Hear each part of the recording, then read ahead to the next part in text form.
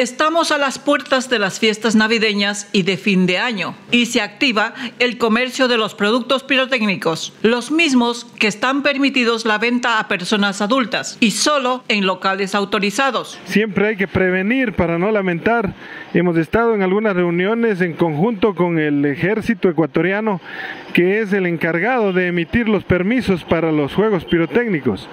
Eh, bueno, hemos, hemos, hecho un, eh, hemos hecho ya un operativo de control y hemos hecho una sanción por no tener permiso.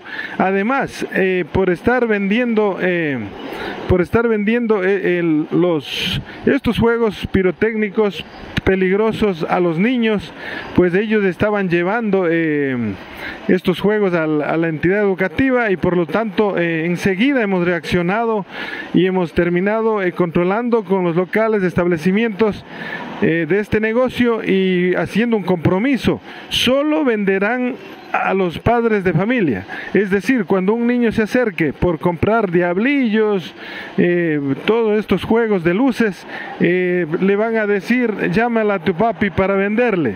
Este es el compromiso y hago un llamado también a los padres de familia que no pongan en riesgo a sus hijos y claro, podemos comprar, acérquense si quieren que sus hijos jueguen, utilicen estos juegos peligrosos, ustedes vigílenles, acompáñenles.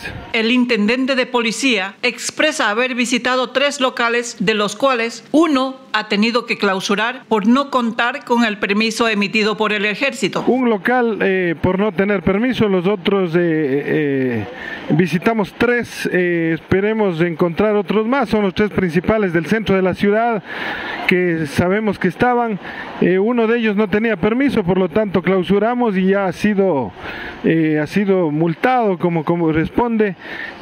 bueno, como yo les decía, pues nosotros no estamos en contra de que los negocios negocios salgan adelante, de que la gente pueda trabajar, pueda beneficiarse, pero lo que queremos es que se haga un buen servicio, respetando la ley, respetando los derechos de los niños, de, las, de todos los ciudadanos, la tranquilidad de ellos, para que no haya ningún peligro, ningún eh, ningún problema eh, de la salud de la gente.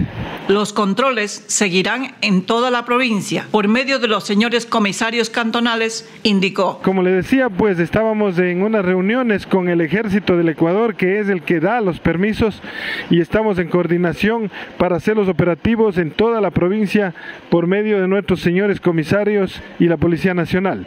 Siempre debo expresar un agradecimiento a la Policía Nacional que está trabajando muy bien podemos ver en el centro de Macas circulando a pesar de que tenemos eh, gente que nos, nos quiere hacer daño, que anda en la ciudad haciendo los males, sin embargo la policía y las autoridades estamos tratando de coordinar para que la tranquilidad eh, sea cotidiana a diario. La autoridad incluso está controlando el expendio de cigarrillos llamados electrónicos y alcohol ilegal. Acabo de tener una denuncia de, de unos cigarrillos electrónicos y bueno, eh, eh, estamos eh, caminando haciendo advertencia de que los locales nadie puede vender sin permiso, nadie puede poner un negocio sin permiso. Yo decía, si los vendedores de una fundita de tomate tienen que pedir permiso, y esto no es por, porque se quiere cobrar nada más, es porque es la única forma de mantener el orden, de saber quiénes son, de dónde vienen, y en este caso pues ya acabo de hacer la advertencia, es una peluquería donde están vendiendo cigarrillos electrónicos a los niños. Le he advertido de que está prohibido y no puede hacerlo y estaremos oportunamente visitando todos los locales con la Policía Nacional para evitar problemas eh, mayores y a futuro. El alcohol también eh, estamos permanentemente controlando en todas las tiendas a nivel nacional. Eh, lamentablemente pues hay, hay establecimientos que no quieren colaborar, pero lo hacen siempre a escondidas, lo hacen siempre atrás de la puerta, como se dice. Pero estamos haciendo el control, hemos, hemos retirado grandes cantidades de alcohol con la finalidad de que no sean vendidos más que todo cuando es ilegal.